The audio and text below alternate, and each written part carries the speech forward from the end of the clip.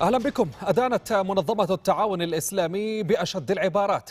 العمل الاستفزازي الجديد المتمثل بحرق نسخة من القرآن الكريم في مالمو بالسويد. رغم الدعوات المتكررة للسلطات السويدية لمنع تكرار مثل هذه الأفعال المسيئة